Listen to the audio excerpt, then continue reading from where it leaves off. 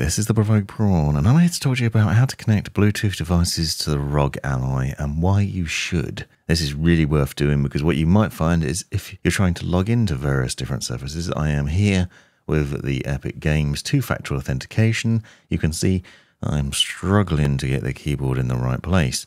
This is a very frustrating user experience because although you can resize and reposition the keyboard and even choose different layouts, it quite often just gets in the way of the fields.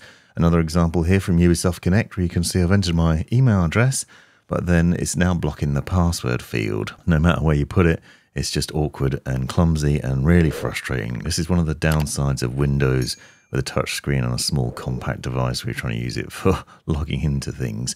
But if you want to add a Bluetooth keyboard and mouse, which I'd highly recommend doing, hit the Windows Start button, search for Bluetooth settings, and go to Bluetooth and devices.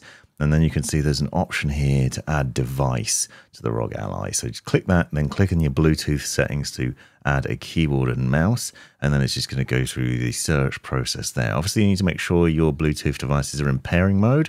So for on the Corsair K70 Pro Mini Wireless, for example, a couple of different key presses. The function key will then put into pairing mode, and then the ally will then give you a little pop up to let you know it's found it. You'll have to enter a pin in order to connect the two and pair them up. But once you've done that, you'll then find that the keyboard is then fully connected to the ally. Now, this obviously make it easy to log into various different things, but also just to interact with stuff. So if you want to play FPS games, for example, obviously you could do this and it'll work better with games that are designed more for keyboard and mouse or let you play from a distance if you're tethered. Another quick tip that you might not realize is these paddles at the back are actually multi-function. So these macro paddles can be used in combination with the D-pad to do various things.